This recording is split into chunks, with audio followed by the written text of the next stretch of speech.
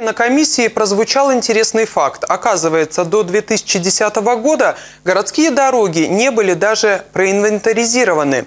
То есть, по сути, были бесхозными и, соответственно, не было проектной документации на проведение ремонтов.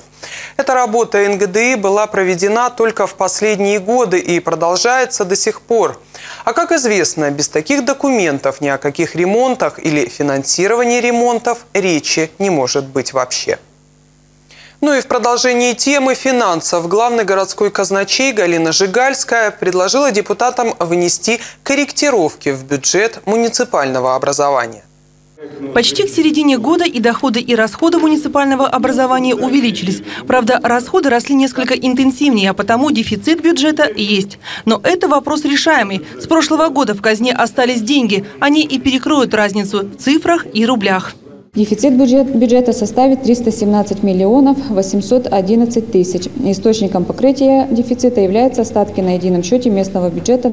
Самую большую дополнительную прибыль в бюджет принесут платежи за пользование природными ресурсами – 37 миллионов рублей. Также налоги на физические и юридические лица – 22,5 миллиона. И еще 11 миллионов рублей будут получены в виде штрафов и возмещения ущерба.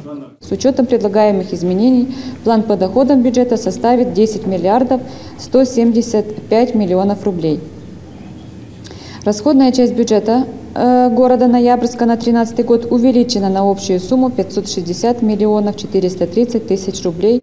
Самые расходные статьи бюджета, которые подлежат корректировке, это, к примеру, увеличение ассигнований на оплату труда депутатов, выбранных должностных лиц местного самоуправления, муниципальных служащих и еще нескольких категорий работников из числа управленцев. На эти цели, ни много ни мало, дополнительно пойдет 172 миллиона рублей.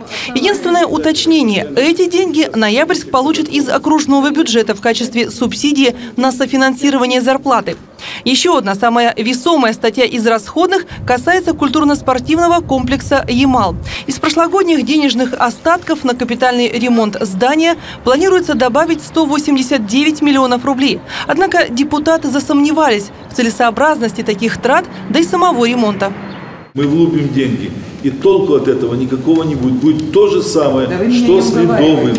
Тем не менее, по словам администрации, экспертиза здания проведена, проект ремонта подготовлен, и уже на июньских аукционах должен определиться подрядчик, который возьмется за работу. А что касается реконструкции Ямала, о которой одно время власти очень много говорили и даже предлагали жителям выбрать новый облик культурно-спортивного комплекса, то этот вопрос закрыт. Вопрос реконструкции мы уже закрыли, не будем. Нет, то есть реконструкция не получилась. Почему? Потому что земельный участок не могли оформить и привести в соответствие. Принято было решение с депутатами провести капитальный ремонт. В итоге депутаты и городские власти решили вернуться к этому вопросу на заседании Думы. Там же будет утверждаться и план по корректировке бюджета. Ирина Потехина, Григорий Куроптев. Новости нашего города.